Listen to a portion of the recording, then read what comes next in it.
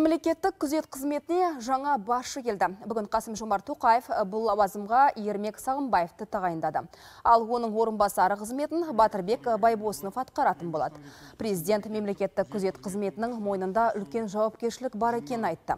Бұл құрылымның барлық қызметкерінен, әсіресе басшылықтан ерекше білім мен біліктілік талап ететінін ескертті. Кадрлық әлеуетті арттыру күн тәртібінен түскен емес. Сондықтан жаңа басшы кадрларды іріктеуде дәл осы ұстанымдарды басшылыққа алу керек деді.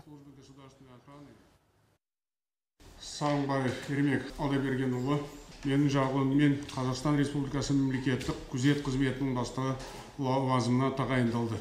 Осы ұжымнан шыққан қызметкер тәжірибесі мол, білімі де бар, сондықтан бұл өте күрделі жауапты қызмет қолынан келеді деп сенемін 28 тамыздан бастап елімізде карантин шаралары біршама жеңілдейтін болды. Бүгін ведомствоаралық арнайы комиссия қазақстандықтар көптен бері күтіп жүрген бірқатар шешімді қабылдады. Сонымен ашық жобасына қатысатын барлық бизнес нысандары демалыс күндері түнгі сағат 12-ге дейін жұмыс істейді. Ал ашық жобасының көш басшысы саналатын мекемелердің жұмыс уақыты түнгі сағат 2-ге дейін ұзартылды. Бірақ мұндай мекемелерге тек вакцина алғандар мен ПТР тесті барлар ғана кіре алады. Сондай ақ сенбі күні қоғамдық көліктердің де қызметі қайта жанданбақшы, ал Алматы қаласындағы шектеу шаралары 4 қыркүйектен бастап жеңілдетіледі. Статистика сандарын келтіре кетсек, өткен тәулікте ел бойынша 6040 адамнан коронавирус анықталды. Ал науқастардың бір жарым мыңнан астамы Алматы қаласында тіркелген. Қарағанды облысында да жағдай мәз емес, 843 адамнан вирус анықталды. Ал елордада 505 тұрғыннан мінекей дертке шалдыққаны белгілі болды. Жалпы еліміз бойынша осы күнге дейін 754 бір адамнан вирус жұқтырған. Елімізде коронавирусқа қарсы екпенің бірінші компонентін 6 миллион мінекей 448 802 адам салдырған болатын, ал қос компонентті 5 миллионнан аста адам мінекей салдырыпты. Сақ жүріңіздер. Отандық вакцина шығару ісін жетілдіріп, өндірісті өркіндету керек дейді. Коронавирус пандемиясымен күрес жөніндегі ел үшін егілемін атты азаматтық штаб өкілдері. Иә, Рахым Ошақбаев бастаған штаб мүшелері Жамбыл облысындағы Отар елді мекенінде орналасқан биологиялық қауіпсіздік проблемаларының ғылыми зерттеу институтында болып, вакцина жасау өндірісімен танысып қайтты. Елімізде ғана емес орталық Азия аймағында қауіпті вирустарды зерттеумен айналысатын бірден бір мекемеде осы уақытқа дейін 67 вакцина шығарылған. Олар негізінен мал ауруларына қарсы салынатын екпе болғанымен институттың мүмкіндігі зор. Институт ғалымдары әлемде алғашқылардың бірі болып, коронавирусқа қарсы Казвак вакцинасын жасады. Бұл зор жетістік. Былтыр институт жанында Отар биофарм зауытының іргетасы қаланды. Құрылысы толық аяқталғанымен әзірге барлық автоматтандырылған құрылғылар сынақ жүйесінде тексеріліп жатыр жоспарға сәйкес зауыттың қуаты жылына 60 миллион доза вакцина шығаруға жеткілікті. Дегенмен де бүгінгі күні ең қиын сұрақ ол реактив пен құрал жабдықтарды сатып алу. Бұл жерде мемлекеттік сатып алу порталы арқылы бұл мәселелер өткізу өте қиын. Сондықтан да көптеген жаңа нормаларды енгізуіміз керекпіз. Реактив құрал жабдыр материалдар ешқандай тоқсаусыз ешқандай кедергісіз бізге келу керек. Сондықтан да жан жағынан қарастырып біздің ғалымдардың және біздің қызметкерлердің жағдайын көтеру керек. Қазақстан республикасы денсаулық сақтау министрлігінің мәліметінше отандық казвак вакцинасын 300 мың адам салдыртқан.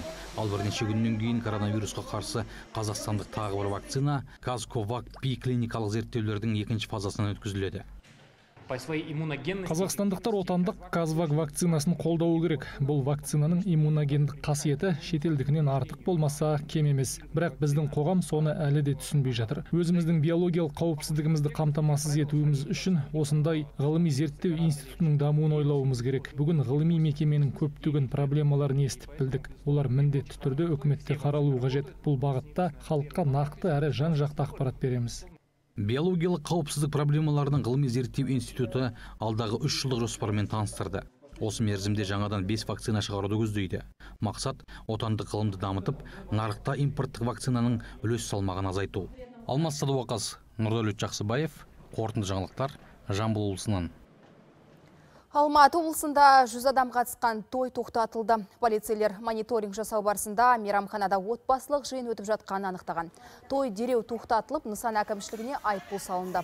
Сондай-ақ тексеру барысында жеке үйлердің бірінде отбасылық жиын өткені белгілі болды. Мониторингтік топ үй иесіне айыппұл салып, қонақтарға ескерту жасады. Ковидпен әлем бүгін қалай күресіп жатыр қысқаша тоқтала кетсек. Жапонияда коронавирусты жұқтырғандар санының артуына байланысты тағы 8 префектурада төтенше жағдай енгізіледі. Бұл туралы осы елдің экономиканы қалпына келтіру министрі мәлім етті. Себебі вирусты жұқтырғандардың көбеюіне байланысты денсаулық сақтау жүйесіне ауыртпалық күшейе түскен. Шектеулер тамыздың 27 күні енгізіліп, қыркүйектің 12-сіне дейін жалғасады. Жаңа тәртіпке сай қоғамдық тамақтану орындарының жұмысы шектеліп, спирттік ішімдіктерді сату тәртібі қатаңдатылады. Айта кетейік, қазір күншығыс елінде токиомен бірге 13 аймақта төтенше жағдай енгізілген. Ал Кубада балаларға егілетін коронавирусқа қарсы вакцинаның клиникалық сынағы аяқталуға жақын. Соңғы кезеңге 300 бала 3 жастағы бүлдіршінен 18 жасқа дейінгі жеткіншек қатысып жатыр. Балаларға жергілікті мамандар жасап шығарған Сабирана 2 және Сабирана плюс атты екі вакцина салынып жатыр. Оларға 28 күн аралықпен 3 доза егілмек. Дәрігерлер балалардың батылдығы келешекте өзгелердің өмірін сақтап қалуға септігін тигізеді деген үмітте. Вакцина балаларды коронавирус ауыр түрінен қорғап, олардың дамуын тежейтін кеселдерден сақтайды. Бұл ғалымдар үшін өте маңызды. Аралық нәтижелер вакцинаның қауіпсіз екенін көрсеткен.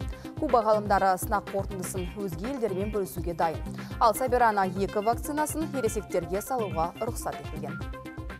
Грекия екпе алмағандарға шектеу шараларын енгізеді. Бұл туралы елдің денсаулық сақтау министрі мәлімдеді. Жаңа тәртіп қыркүйекте күшіне енеді. Дәлірек айтқанда күздің алғашқы күнінен бастап вакцина салдырмаған аурухана қызметкерлері жұмысқа жіберілмейді. Ал қыркүйектің 13-нен бастап екпе алмаған мемлекеттік қызметшілер мен жекеменшік сала мамандары апта сайын ПТР тест тапсыруы керек.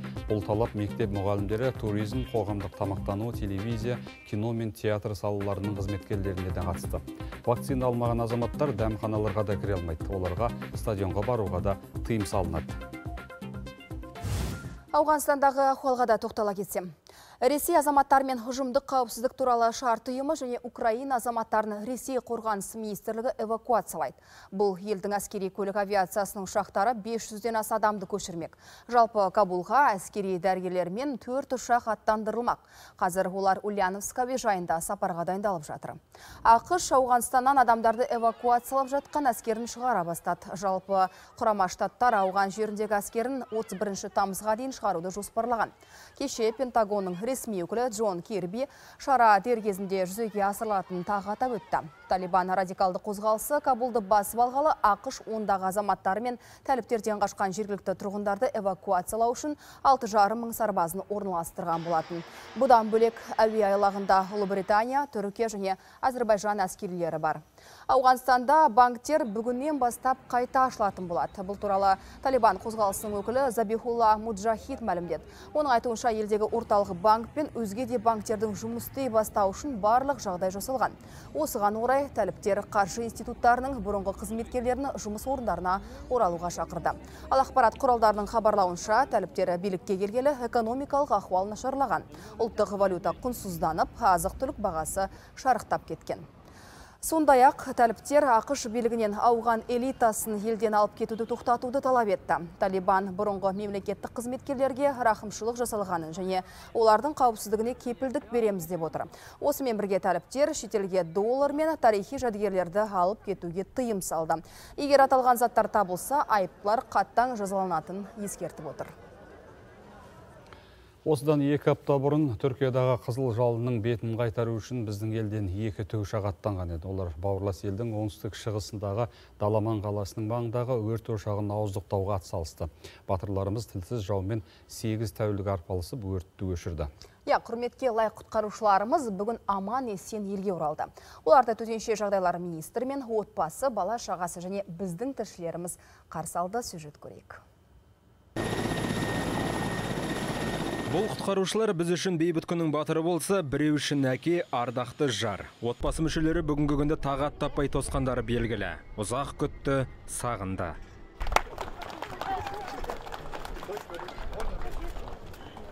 Хош, ерлеген ерлеріміз жақындармен жүздесіп мауқым басып алған соң оларды әңгімеге тарттық. Құтқарушылар құбылмалы ауа райының салдарынан үш күн бойы ұшып барғандарын айтады. Шаршағандарына қарамастан жете салысымен білек сыбана өртпен арпалысқан. Қызыл жалынның шарпыған аумағы өте үлкен болды дейді. Вертолетчики это мужественные тікұшақта отырған жігіттер нағыз батырлар әрине өрт болған жерден бардығы қашып бара жатса біз керісінше қызыл жалынның ошағына бардық бел жазбастан күніне 12 сағат өрттің басқасында жүрдік әрең дегенде өшірдік Бауырлас Түркия еліндегі алапат өртті сөндіруге аттанған тікұшақ елімізге аман есен оралды. Тікұшақтың атауы Ми-8 АМТ деп аталады. Осыдан үш ай бұрын қолданысқа берілген жап жаңа тікұшақтың салмағы 7,5 тоннаға жуықтайды. Қосымша таза 5-6 салмақты арқалауға әлеуеті толық жетеді. Бұның жылдамдығы сағатына 250 шақырымды құрайды. Бұл тікұшақ біздің елде құрастырылған. Мамандар отандық өнім жарап тұр дейді. Еңбегі зор. Алғашқы алыс сапарындағы осынау қиын міндетті абыроймен атқарып келді. Бұл екі тікұшақ өртті сөндіру кезінде жалпы салмағы 300 тоннадай суды тасыған. В отличие от многих других стран, басқа елдермен салыстырғанда қазақстан келісім шарт бойынша емес гуманитарлық көмек ретінде қол созды сондықтан шығындарды біздің елдің билігі өз мойнына алды ал жігіттеріміз ерледі олар 300 тоннадай су тасыды өртті сөндіруге бар күштерін салды Түркияның Қазақстандағы елшісі де қарсы алуға арнайы келіпті. Қиын қыстау кезде қол үшін созғанымызға алғысын айтты. Ыстық ықыласын білдіріп, жігіттер марапатқа лайық деді. Ал жігіттер ше, олар үш күн ары, үш күн бері, тау, тас, өзен көлдің төбесінен ұшып, сегіз тәулік қызыл жалынмен арпалысқан соң ба, әбден шаршады. Неде болса, туған жерге аман есен, абыроймен оралды. Бірлік Берікұлы, Аманжол Байғазин, Саят Рамазанов, қорытынды жаңалықтар. Осы күндері армия халықаралық ойындары өтіп жатыр. 11 мемлекеттің аумағында түрлі сайыстарға әлемнің 40-тан астам елінен қарулы күштердің әскерилері қатысуда. Артиллерияшылар мен ұшқышсыз ұшу аппараттар арасындағы жарыс елімізде Жамбыл облысының Мәтібұлақ полигонында өтеді. Қазақстандық жауынгерлер алғашқы жеңістерге қол жеткізіп жатыр. Мәскеу маңындағы Алабино полигонындағы танк биатлонында қазақстандық команданың бірінші экипажы айналымда жеңіске жетіп, Әзірбайжаннан, Беларусь пен Сербиядан келген қарсыластарын басып озды. Танкистер трассадан тез өтіп, барлық нысандарға дәл тигізді. Ал Армениядағы әлем жауынгері конкурсында сарбаздарымыз кәсіби шеберлік кезеңінде жауынгерлік даярлық бойынша негізгі нормативтерді орындауға бүкіл қатысушыларды басып озды. Сұңқар аңшылығы конкурсында да қазақстандық команда көш бастап тұр. Ұшқышсыз ұшу аппараттары жарысында Ресей мен Беларусь командаларын артқа тастап, әуе барлауын жүргізу міндеттерін бәрінен үздік орындады. Басқа конкурстарда да қазақстандық жауынгерлер алдыңғы қатарда. Сондай ақ біздің жауынгерлер Ирандағы теңіз кубогы, ТВ-дағы аттар марафоны және Сербиядағы тәртіп сақшысы конкурстарына қатысып жатыр. Ашық әрі халық үніне құлақ асатын мемлекет құру. Президент Қасым Жомарт Тоқаевтың біздің билікке берген бір тапсырмасы болса осы. Жергілікті әкімдер өзіне жүктелген міндеттерді қалай орындап жатыр. Кеше Алматы қаласындағы Алатау ауданының әкімдігіне әкіммен ашық сұхбат құруға барған Хабар 24 телеарнасының түсірілім тобын күзетші күшпен ғимараттан қуып шығып, тілшіге тіпті дене жарақатын салған. Бұл оқиға қоғамда резонанс туғызды. Әр тараптың да айтар өз уәжі бар. Бұл оқиғаға қатысты бүгін сала министрі мәлімдеме жасады. Алатау ауданының әкімі Азамат Қалдыбеков түсініктеме берді. Ал телеарна басшысы полицияға шағым жазды. Хабар 24 телеарнасынан шығатын әкім бағдарламасы аз уақыттың ішінде көп көрерменнің көңілінен шығып үлгерген жоба. Оның жүргізушісі Ақбөпе Тәңірберген талай шалғай ауылға барды, талай әкіммен тілдесті. Бірақ еліміздегі ең ірі мегаполис Алматыға барып күзетшіден күш көремін деп әрине ойлаған да жоқ. Әкіммен сөйлесе алмадым. Сондықтан аппарат басшысы арқылы хабарластым. 17.30-да келіңіз сізге әкім сұхбат береді деді. Ың шыңсыз айғай шусыз кетіп 15.30-да әкім 17.30-да әкімдікке қайта оралған кезде ә, әкім жоқ екен әкімдікте. Сізге аппарат басшысы қайта шығып сізге сұхбат бере алмайды. Өкінішке қарай ол кісі әкімдікте емес. Ә, деген жауап айтты. Сондықтан халықтың қойған сұрағы бар. Мен жауап алу керекпін. Онда орынбасарлардың бірі берсінші дедім. Аппарат басшысы ішке кіріп кетті да сол күйі шықпай қойды. Тілшімен тілдескісі келмеген әкім осы азамат қалдыбеков алматы қаласының алатау әкімдігінің әкімі болып президент жастар кадрлық резервінен тағайындалған.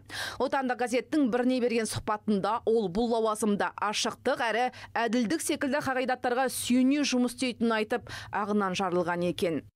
Әртүрлі мән жайлар болуы мүмкін. Біріншіден не үшін мемлекеттік қызметші түспеген не кім ә, бес жарымда ә, жаңағы интервью береді деген ә, адам ә, болмаса ішкі саясат болмаса пресс служба осындай ә, толық кезінде ә, те- дереу кезінде ә, не үшін өзінің ақпаратын бермеген или жалған берілген туралы тексеріс жүргізіледі. Бұл оқиға жайында ақпарат және қоғамдық даму министрі Аида Балаева да үн қатты. Министр Facebook парақшасында жазба жариялап әкімдіктегі күзет қызметкерінің әрекетін заңсыз деп бағалады. Бұл біздің бүгінгі халық үніне құлақ асатын мемлекет. Ашық әкімдік қағидаларына қайшы келетін жағдай журналистердің құқығын бұзуға, олардың ресми жұмысына кедергі келтіріп күш көрсетуге ешқашан жол берілмеуі керек деп жазды Балаева. Министрдің бұл пікірін құқықтық медиа орталық қоғамдық қорының директоры Диана Өкремова да құптайды. Мне кажется, что Бұл біздің билік қоғаммен тиімді коммуникация құралмауының нақты көрінісі. Бақ туралы заңда журналист мемлекеттік мекемелерге емін еркін кіре алады деп жазылған. Оған ешқандай рұқсат алып, рұқсат сұрап қажет емес. Бұл ретте журналистің әрекеті арандатушылық туғызса да, күзетшінің күш көрсетуге ешқандай құқығы жоқ. Себебі тілші қоғамға қауіп төндірген жоқ. Оның қолында қаруы болған емес. Өкінішке қарай журналистердің кәсібіне қатысты мұндай істердің сотқа жететіні аз. Жалпы кей билік өкілдерінің кей қоғам мүшелерінің бұқаралық ақпарат құралдарына деген қарым қатынасы қасаң әрі қатаң. Осыдан екі апта бұрын ғана Петропавлдағы ірі сауда ойын сауық орталығының қауіпсіздік қызметі біздің түсіру тобына шабуыл жасап, журналистерді іштен сүйреп шығарған. Қазір сотқа дейінгі тергеу амалдары жүріп жатыр. қазақстанның тарихында кешегідей дөрекілікті көрген емеспін ал енді әкімшіліктің ғимаратына мысалы келіп тұрған журналисті қыз баланы э, сондай кеудесінен итеріп бұндайға жол беруге болмайды. Ол э, мысалы бұған үлкен жоғары билік орындар өздері өте сыни түрде баға беру керек деп ойлаймын. Хабар 24 телеарнасының директоры Алена Горбачева Алатау әкімдігіндегі факт бойынша полицияға шағым түсіретінін мәлімдеді. Ал әкімдік арнайы комиссия құрдық, кінәлілер жазаланады деп отыр. Бір анығы бұл оқиғаны билік баспалдаған индаттаған жас әкім ешқашан ұмытпайтын болады. Журналистер сондай халық ұмытпайды әрі ұмыттырмайды. Жамарқабаева, Диналиева, қорытынды жаңалықтар. Солтүстік Қазақстан облысында Булаев қаласының тұрғындары қыста жылусыз қаламыз ба деп алаңдаулы. Оған негіз бар. Себебі шаһардың шеткі ауданда тұратын халық биыл қазандықта дайындық пысықталмады деп отыр. Бұдан бөлік құбырларды жуып шаю жұмыстары жүргізілмеген. Басқа тағы қандай қордаланған мәселе бар. Самат Қайырденұлы сабақтайды. Что зиму ходил? Трасса называется. Ну это что такое? Я не знаю, что за отношение. Булаев қаласының тұрғыны Андрей Эйхнердің үйіне былтыр жылу құбыры бау-бақшасы арқылы тартылды. Бірақ трассаны төсеген кәсіпорын құбырдың сыртын дұрыс қаптамай кеткен. Ешкімге ештеңе керек емес әкімнің орынбасарына да айттық күнде ертеңмен сендіріп келді міне қаптаған материалдарының түрі мынау оның өзінде оны скотчпен бір рет ораған ит мысықтар тырнап жыртып тастады Вот это вот материал, видите, он сам проклеенный. Вот этот материал-то он проклеен, видите? А это просто было как для связки, чтобы держалась она. Ну, у вас вся теплотрасса идет скотчем обмотана. Не, ну это скотчем, это просто она э, как бы основной функции не несет. Сам. Бүгінгі күні шағын ауданда 90 үй бар. Былтыр бюджеттен бөлінген 9 миллион теңгеге қазандық пен бір шақырымнан астам құбыр ауыстырылған. Ал биыл жуып шаю жұмыстары әлі жүргізілмеген. Бәріне қаржы тапшы. 700 тысяч тенге, скажем. Абоненттерден тек 700 мың теңгедей ақша түседі. Оның 350 мыңын электр қуатына жұмсаймыз. 400 жұмысшыларға айлық ретінде беріледі. Оның үстіне отын көмір алуымыз керек. Қазір өзіміз шығынға батып отырмыз. Бірақ жылыту маусымына дейін олқылықтың орнын толтырамыз.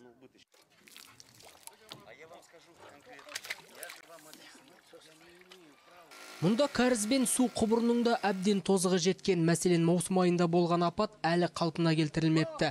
Тұрғындар болса, қазылған жерден су тасып жатыр. Екі айдан бері мінекей не ә, әлі дұрыстай алмай отыр.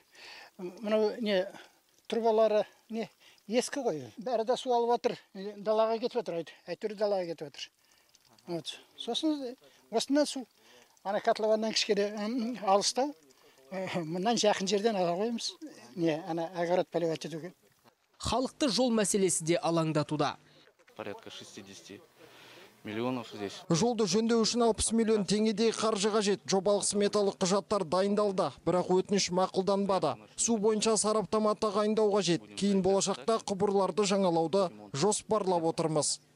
Әкім айтқандай мұның бәрі жоспар, бірақ қордаланған мәселелер нақты қашан шешілетіні әзір белгісіз. Самат Қайырденұлы, Төлеген Иманов, қорытынды жаңалықтар, Солтүстік Қазақстан облысынан. Ал Петропавлда бірінші қыркүйектен бастап қоғамдық көліктерде электронды төлем жүйесі енгізілетін болды. Карта көмегімен төлеу бұрынғыдай 80 теңге, ал қолма-қол есеп айырсаңыз қалтаңыздан екі есе ақша шығарасыз. Қазір онлайн төлем барлық 220 автобусқа орнатылып жатыр.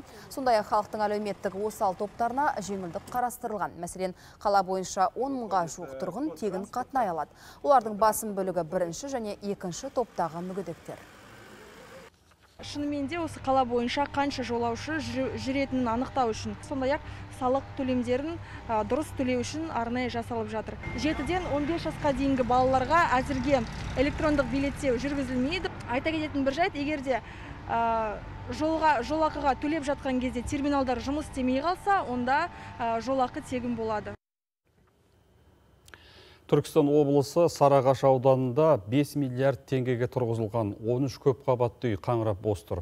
Баспаналардың құрылысы 2017 жылы нұрлы жер мемлекеттік бағдарламасымен салынған болатын. Иә, алайда мынау қалада кәріз жүйесі болмағандықтан пәтерлер пайдалануға берілмеген. Ал жылдар бойы баспана кезегінде тұрған отбасылар әлі күнге дейін пәтер жалдап тұруға мәжбүр.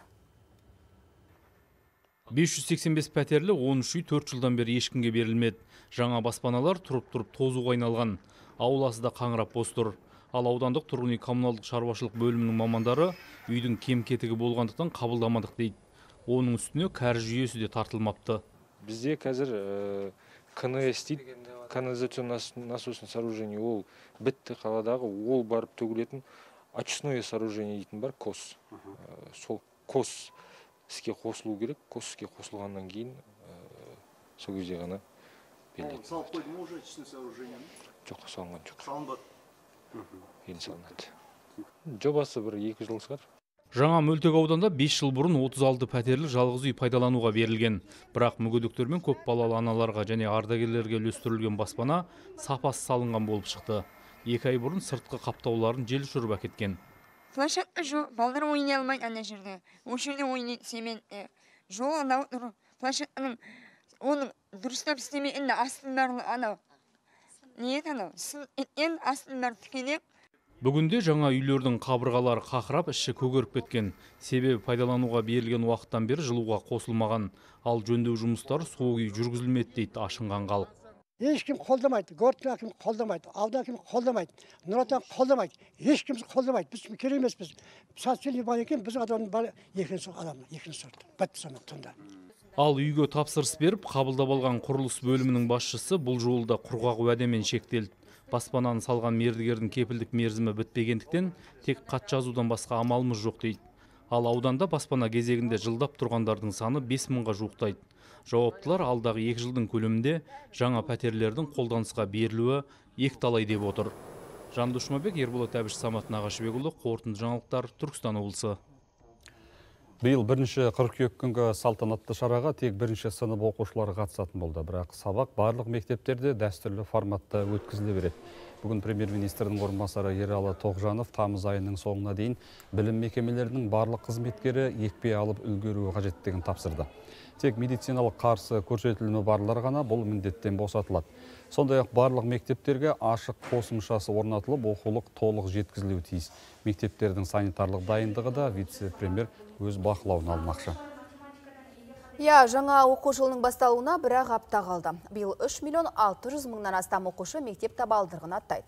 Дегенмен жаңа жағдайдағы оқуға білім ошақтарының барлығының әзір еместігі белгілі болып отыр. Денсаулық сақтау министрлігі елімізде 400-ге жуық мектептің оқу жылына дайын еместігін айтты. Пандемия жағдайында дәстүрлі оқу қалай жалғаспақ? Әріптесіміз Индира Жылқайдарова толығырақ әңгімелейді барлық кабинет оқу кабинеттері осында кең болған дұрыс еді негізінде Бұл елордадағы нөмірі 30 мектеп гимназиясы. Ережеге сай оқу орнында 1050 бала оқуы тиіс. Алайда білім ошағы биыл 2200 бала қабылдауға мәжбүр. Мұны білген Александра Малдыбаева секілді атаналар шырпыр. Себебі арағашықтық сақталғанымен үзілістегі балалардың опыр-топырын қадағалау мүмкін емес. Ковид жұқтырмасына кім кепіл дейді олар. Мы за здоровье и учителей, и детей. Біз балалардың да мұғалімдердің де денсаулығына зиян келмесін дейміз. Қазір шағын ғана кабинеттерге 36 баладан отырғызып қоймақшы. Бұл санитарлық талаптарға сай емес. Сол себепті балалардың тең жартысын қашықтан оқытқандар дұрыс. Абсолютно не готовы к Оқушылар нормадан тыс екі есе көп. Санитарлық талап бойынша 2,5 метр қашықтық болуы керек. Аралас режимде оқытпаса, қазір оқушылардың ішінде ковид көбейіп кетуі мүмкін. Жалғыз ұлымның қауіпсіздігін ойлап отырмын. Нөмірі 30 мектеп гимназияның директоры ата-аналардың сөзін қостап отыр. Дегенмен қолдан келер қайран жоқтығын айтады. Мына кабинеттің аумағы 74 шаршы метр. Мектеп гимназиясында мұндай кең тек 5 класс бар екен. Қалғандарының аумағы 30-54 шаршы метрден аспайды. Сондықтан санитарлық талаптарды толықтай 100% орындау мүмкін болмай отыр дейді мектеп директоры. Мектеп директоры мәселені шешу үшін оқушыларды тұратын жерлеріне жақын маңдағы оқу орындарына орналастыруға ниеттенген. Алайда оларда да дәл осы проблема. Екі есеге артық бала қабылдауға тура келген. біз үш түрлі ә, нұсқада жұмыс істеуге дайындалып отырмыз бірінші нұсқа ол штаттық режимде барлық сыныптар сол қанша бала отыр сол сыныппен отырады әрине ә, мына жерде парта 18 парта сиятын кабинетке 18-36 бала отыра алады. Сыймаса парта енді қай жерге отырғызамыз екінші вариантымыз егер де жаңағы аяқ астынан балаларымыз ауырып қалып жатса немесе мұғаліміміз ауырып қалып жатса аралас оқыту ә, системасына өтеміз.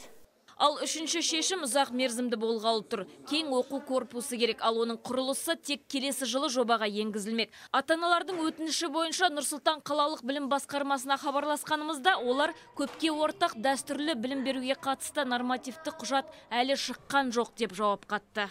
Әр өңірдің өзінің жергілікті санитарлық эпидемиологиялық департаменті бар. Сол департаменттің қаулысы шығатын болады алдағы уақытта сол жерде барлық ұсыныстар жазылатын болады. Мектептегі балалар саны сыныпта отырған балалардың саны олардың ара қашықтығы бәрі сол алгоритм бойынша ұйымдастырылатын болады.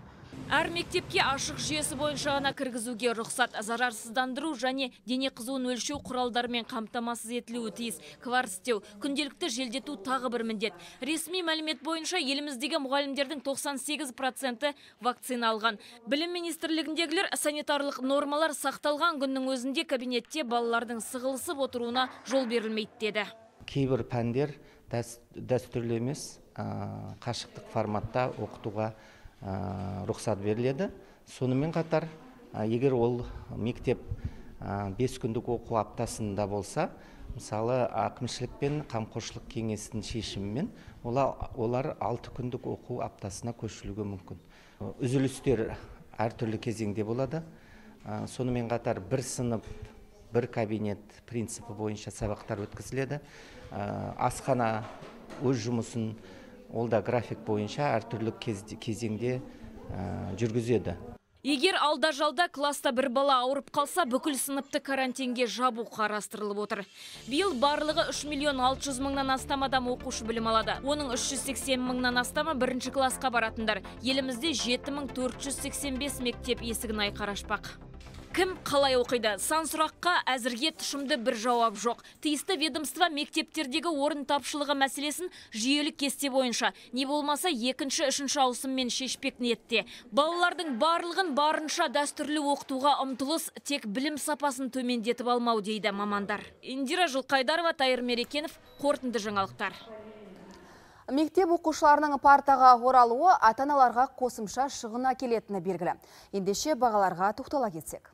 Мектеп рюкзактары дүкендер мен базарларда 3,5 мыңнан 25 мың теңге аралығында. Біз енді орташа есеппен 8 мың теңге деп көрсетіп отырмыз. Ал балалар аяқ киімінің бағасы да құбылмалы, орташа есеппен 10 мың теңге шамасында. А, Биыл әрине балаларға формамен емес классикалық киіммен мектепке баруға рұқсат етілді. Дегенмен бұл да шығын оны да сатып аласыз шамамен 15-20 мың теңге шамасында. Ал енді кеңсе заттарына келсе қалам, қарындаш, фломастерлер, бояулар, альбомдар, өшіргіш, сызғыш, күнделік, дәптерлер барлығын қосқанда шамамен мінекей 6 мыңнан асады екен. Осылайша шамамен бір баланы мектепке жинау үшін орта есеппен 40 мың теңге қажет болады. Біз енді мынау дене шынықтыру сабақтарына арналған заттарды қоса есептеген жоқпыз. Спорттық киімдер бар, аяқ киімдер, кроссовкалар, тағы да басқа шығындарды қоса есепке алғанымыз жоқ. Елімізде тұңғыш рет балабақшада инклюзивті қолдау кабинеті ашылды. Оған болашақ қоры бастамашылық етті. Нұр Отан партиясы төрағасының бірінші орынбасары Бауыржан Байбек пен білім және ғылым министрі Асхат Аймағамбетов мектепке дейінгі оқыту мекемесіне барып, балалардың ата-аналарымен кездесті. Елде 160 мыңнан астам ерекше баланың 35 мыңы аутизмге шалдыққан. Әр бала мектепке баруға лайықты инклюзивті білім беруді дамыту жобасы аясында былтыр 8 өңірде 16 инклюзивті қолдау кабинеті ашылып жабдықталды. Енді келесі жылдың соңына дейін тағы 8 орталық ашу жоспарланып отыр. Біздің негізгі мақсатымыз жалпы осындай ерекше балаларға аутизм бар балаларға жағдай жасау. Менің балам психоневрологический интернаттың пациенті болады деп ойлағам. Ал енді қазір мысалы уже бірдеңені қайталайды, бірдеңені айтады талпыныс бар балада осындай балаларға осындай көбірек көмек көрсетілсе екен деймін болашақ қорына үлкен рахметімді алғысымды айтамын Археологтар елорда іргесіндегі Бозоқ көлінің шығасынан 18 ғасырдағы қыстаудың орнын тапты. Бұл жан бойынша онда сол кездің әулетті адамдарының бірі тұрған. Оған қазба кезінде табылған жәдігерлер мен қираған үй аумағының үлкендігі айғақ. Мамандар оларға қарап ата бабамыздың айналысқан кәсібі жайлы да мәліметтер жинауда. Үй екі бөлмелі болған. Бөлмені жаңағы бес құдықты пеш екіге бөледі. Ас үйге қонақ үйге иә осыдан екі ғасыр бұрынғы үйлерде де қабырғаны жылтатын пеш болыпты. Мына кірпіштер оның бес құдықты болғанын білдіреді. Ал табылған жәдігерлер қатарында қылыш тоқыма заттарынан бөлек дәрі құюға арналған шыны ыдыс та бар. Осындай қалыптар табылады. Бұнда дәрілер сақталған. Осының бәрін біз жаңағы дәлелдеп отырмыз. Мысалы мынандай Э, фарфор кездеседі фарфор ыдыстар жұқа келген э, бұны тек қана жаңағы әулеті э, жаңағы бай қазақтар ғана өздерінің жаңағы қолданған осындай сатып тұрған бұл заттар қымбат болған. Айта кетейік бұл археологиялық қазба жұмысы мәдениет және спорт министрлігінің қолдауымен жүргізілуде. Бүгінге дейін мұнда екі үй мен оған қаптарлас салынған қораның орны ашылыпты. Табылған жануарлар сүйегіне қарағанда негізінен жылқы мен ірі қара ұсталған. Тұрақтың батысы жайлау ал шығыс бөлігі қыстау ретінде қолданылған. Исследования дали хороший материал. Қазір 18-19 ғасырдағы тарихымызды түгендеуге ерекше көңіл бөлінуде. Біз осы қыстауды зерттей отырып сол кездегі халықтың кәсібін білгіміз келеді. Қазірдің өзінде олардың сыртпен барыс келіс жасағаны осы жерде сауданың дамығанын анықтадық. Олар мал шаруашылығымен айналыса отырып олардан алған өнімді өңдеумен де айналысқан. Тілші ретінде мені әсіресе мына темір жәдігер ерекше қызықтырды. Алғашында оны көліктің бөлшегі деп ойладық. Сөйтсек сүт тартқыштың тісі екен. Сонда 18 ғасырдың өзінде қаймақты арнайы құрылғымен өндірген. Ата бабамыз алған өнімді саудалап пайда табудың да көзін білген. Олай дейтініміз мынау тұрған қыстау сол кездегі ақмола бекінісі. Қазіргі елорданың іргесінде тұр. Былайша айтқанда бұл орын сол кездегі қаланың азық түлік қауіпсіздігі қызметін атқарған. Ердәулет ыбырайұлы аманжол байғазин қорытынды жаңалықтар. Биыл 29 тамызда әлемдегі ең ірі ядролық сынақ алаңдарының бірі Семей полигонының жабылғанына 30 жыл толады. 1991 жылы кеңестер одағы басшылығының қарсылығына қарамастан тұңғыш президент Нұрсұлтан Назарбаев тарихи жарлыққа қол қойған. Осыған орай бүгін Семейде елбасы кітапханасының ұйымдастыруымен маңызды шешімдер кезеңі атты көрме ашылды. Онда зұлмат қарудың зардаптары 1989 жылдан бастау алған халықтық антиядролық қозғалыс тарихы жөнінде деректері мен жәдігерлер бар қазақстанның тұңғыш президентіне жаһандық қауіпсіздік сақтаудағы еңбегі үшін берілген ұлыбритания ақш жапония сияқты мемлекет басшыларының сыйлықтары да осында аты жаман ауру әлі айылын жер емес сондықтан сақ жүріп жақындарымызға жанашыр болайық. Иә, вакцина салдырып, өзіміздің де, өзгенің де өміріне араша болайық. Осымен жаңалықтарымыз аяқталды. Эфирімізді Хабар Ньюс YouTube каналымыздан да көре аласыздар. Еліміз аман, деніміз сау болсын.